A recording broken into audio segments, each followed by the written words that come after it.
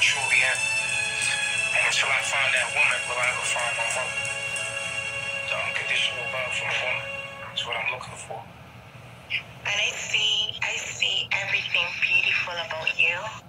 And I like the fact that you're living your truth, regardless of whatever society's seeing. And I really respect that, which that's real, that's very inspiring. Somebody said that my mother is Iyah, but Iyah says she leaving me today. So she's leaving. So ask for y'all and say that.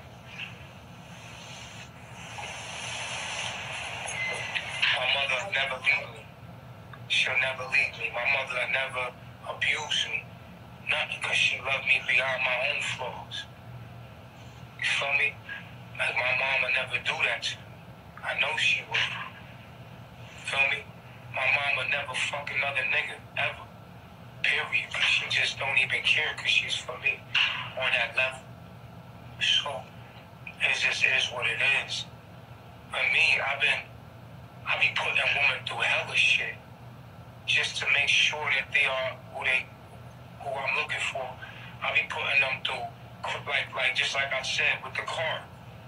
In order for you to know the quality of any material, you have to put it under pressure. When you put it under pressure, you get to see what it's made of. So my lifestyle alone is the pressure that, that it takes for a woman to show me if she's for me or not. If you can't take that my lifestyle, if you can't take all that comes with me, everything that I'm doing, good, bad, wrong, whatever it is, you got my mom. And I ain't never found my mom yet thus far, because, I mean, you're right, somebody might be around as my mom now, but you feel what I'm saying? Like I haven't found it as of yet as far as what I've, what I've seen. I feel like there's potential. I want you to know that you're a very good man and you're a very wise man. I've listened to you on numerous times. Again, some points I agree with, and some points I disagree with. And as you said, it's about finding the right individual that complements you, and also to build a kingdom. Because for me, following you was all about building the kingdom. And that was the turn on element for me. It was at even one point in time like I just wanted to pack up everything and just come wherever you are. I don't need to be your wife. I just want to be part the I. I need my own land so I can put all my knowledge into it. I want to put all my knowledge into my land so that people will see my knowledge.